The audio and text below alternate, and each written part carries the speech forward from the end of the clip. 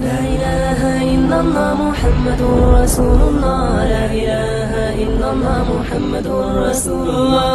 لا إله إلا الله محمد رسول حضرت ابو سعید خدری رضی اللہ تعالیٰ عنہ سے روایت ہے کہ حضور اکرم صلی اللہ علیہ وآلہ وسلم نے ارشاد فرمایا، حضرات مہاجرین کے لیے سونے کے ممبر ہوں گے، جن پر یہ حضرات روز قیامت بیٹھیں گے اور گھبراہٹ سے محفوظ ہوں گے۔ اس روایت کو ابن حبان نے صحیح ابن حبان میں روایت کیا ہے۔ اسی طرح اس کو امام حاکم نے المستدرک میں کتاب معرفت الصحابہ میں روایت کیا ہے۔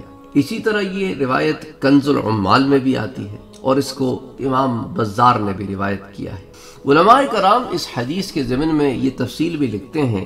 اس سے اولاً تو وہ حضرات صحابہ کرام مراد ہیں جنہوں نے دین اسلام کی خاطر ہجرت کی۔ دوسرے درجے میں قیامت تک کے وہ مہاجرین مراد ہیں جنہوں نے اپنے دین کی خاطر وطن چھوڑا اور وہ حضرات بھی اس حدیث کی بشارت میں شامل ہیں جنہوں نے اپنی عزت، جان اور مال کی حفاظت کے لیے ہجرت کی ہوگی۔